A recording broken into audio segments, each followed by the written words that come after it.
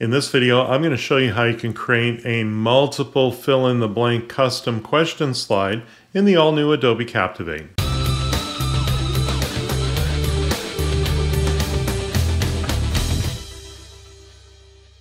My name's Paul Wilson and I make videos about e-learning, specifically the authoring tool Adobe Captivate. If you like what I'm doing here today, by all means like this video, subscribe to my channel, and share this video with all of your e-learning colleagues. I have a client I've been working with for a number of years now, and they typically provide me with a storyboard and ask me to build it for them using whichever tool that I'm using at the time. Now, when I started with them, I was using Adobe Captivate Classic, and it wasn't uncommon for them to use one of these multiple fill-in-the-blank question slides that are built into Classic Captivate.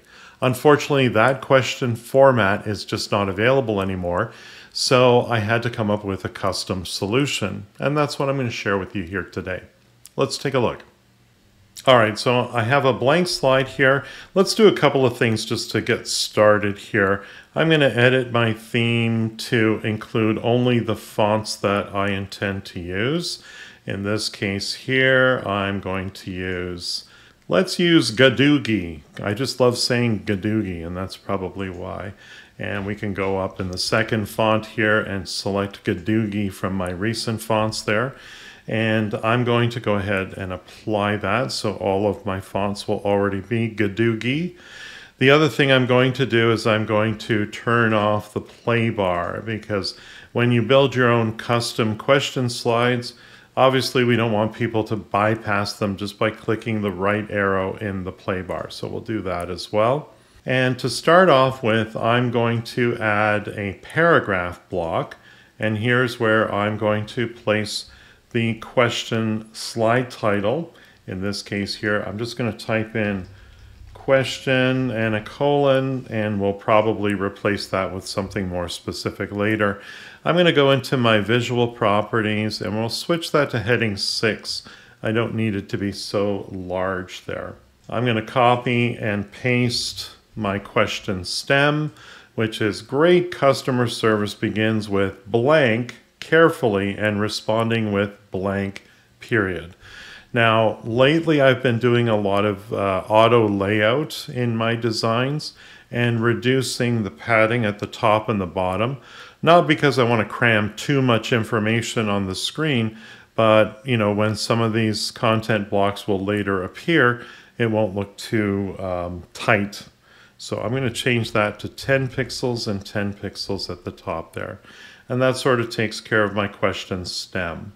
I'm going to add another content block here, in this case also a paragraph block, and we're going to change that a little bit here. So first of all, let's turn on auto layout. Let's set this to be 10 pixels, 10 pixels at the top and bottom. And also, I don't want this to appear by default because this is actually one of my feedback captions. So I'm going to select the hide during publish option up here. And uh, like this stem, I'm going to change that to heading 6 so it's nice and compact. I'm going to click outside of any of the components and we're also going to add a button and we're going to add a card to this as well. Again, this will be my correct feedback caption. And we'll give them a nice exclamation mark there. And we'll just actually put the same thing in here but we'll put the answers in the fill in the blank. So great customer service begins with listening carefully and responding with empathy. And just to make it look um, a little bit more fill in the blanky, I'm going to add the underline to these words here. And minus the, there we go. Now in this case here, this button is going to be my next button, which will take me to the next slide, or in this case, the quiz results slide. I don't have a quiz results slide, but the easiest way to add a quiz results slide is to make sure this button is included in the quiz. That's where I'm going to assign the points for this question. and I'm going to make them 10 points. Now I'm going to duplicate this by pressing Control D and we'll create our incorrect caption. So I'll change this to say incorrect and with the actual statement here I'll say the correct answer is, and we'll put this in quotation marks there.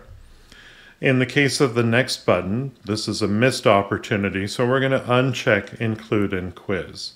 Now the very next thing I want to do is add my fill in the blank short answer input fields, if you will, and uh, we'll select those from our interactive components section here. We'll do an input field. I don't need a label, so we'll get rid of that. I do want to change my input field text uh, to do a couple of things. First of all, I want the answers always to be in lowercase, so I don't need to worry about, you know, uppercase letters, lowercase letters, and all the possibilities that my student might put in there. Let's also do our usual adjustment here to the uh, uh, top and bottom padding for each one there. And under text, we'll select Gadugi as well. I just love saying Gadugi. I don't know what it is. Uh, that looks pretty good here. So let's uh, let's adjust the auto layout. I don't know why I didn't capture that before, but let's do that now.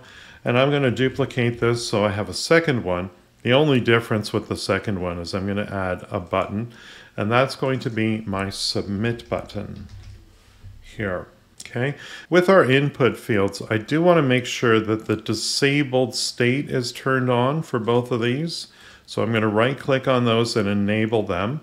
And I also want to do the same thing for my submit button. I want to enable that. And while I'm here, I can also disable this selected state.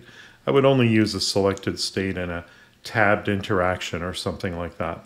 Now, because of the nature of this interaction, uh, when we leave this slide, the input fields and the submit button will be disabled. So if I retake this question slide, I want to enable those. So I'm going to need um, an on enter advanced interaction and I'm going to select interactions here, click on add interaction and we'll select slide enter as my timeline trigger. And what we're going to do is we are going to, first of all, enable my two input fields and the submit button. Press next and then press done. And then I'm also going to ensure that the correct and the incorrect captions are hidden and we're going to do that from the content sections because we want to hide the content sections in its entirety, including the space around it. So I'm going to select those, press next.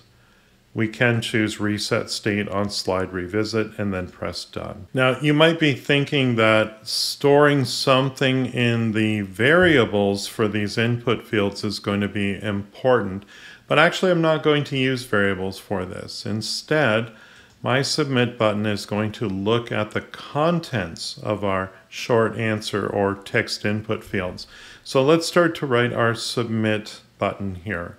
So we'll go in and uh, this will be a conditional interaction. So we'll select conditions and we'll say if the content of our element, in this case input field 1, is equal to a value of listening, press save, and we'll add another condition, and this will show up as an AND condition. Also content of element, in this case input field 2, is equal to a value of empathy. Press save. We will do a number of things. The first thing we're going to do is we're going to show the correct message Again, you want to do this from content sections and select it from there. Scroll down, press next. You can reset state on slide revisit and press done. We also want to disable our input fields and the submit button so that they can't change their answer. I mean, they got it correct, so they shouldn't want to anyway, but just as a precaution. So we'll add a new action. we'll go into the More section of Actions, and we will choose to disable, and we'll scroll down and select our last three elements, our two input fields, and the Submit button, and press Next, and then Done. Okay.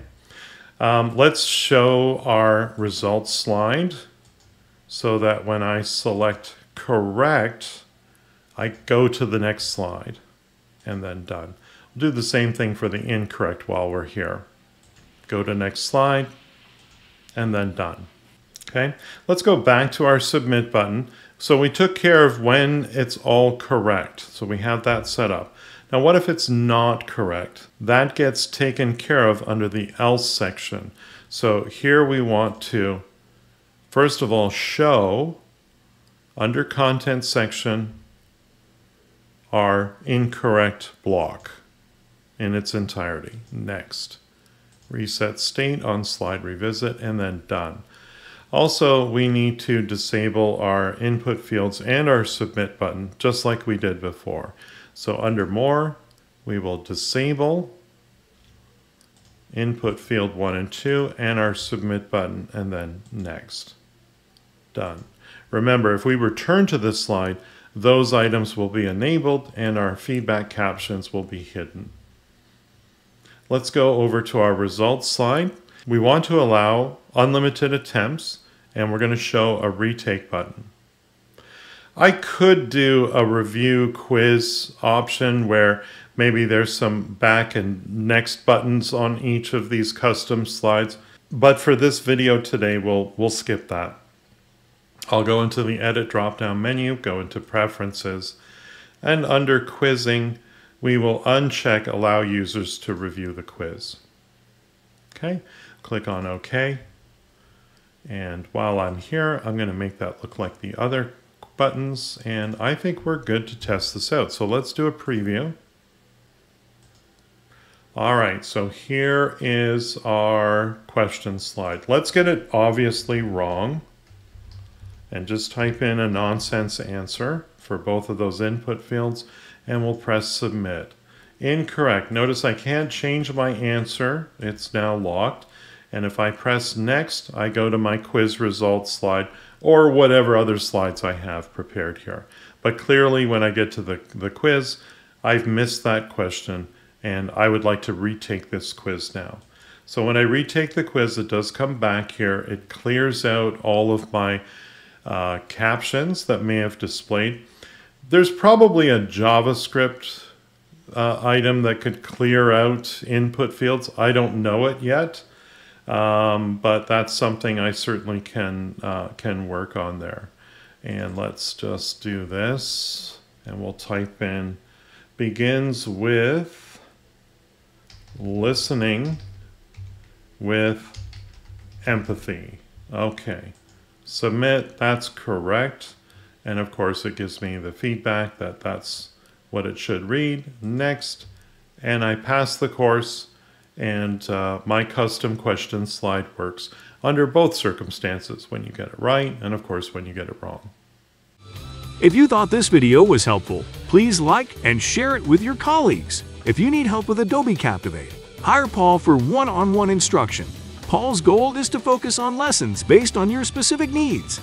Visit his website at CaptivateTeacher.com. And don't forget to subscribe to his YouTube channel.